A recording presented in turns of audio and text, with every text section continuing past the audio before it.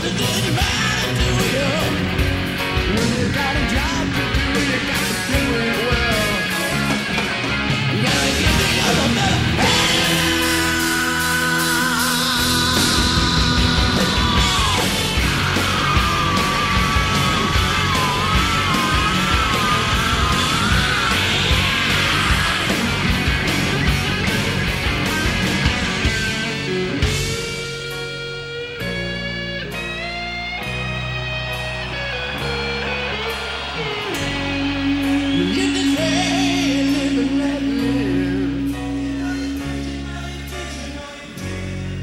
But if this ever-changing world in which we live in makes you give in and cry,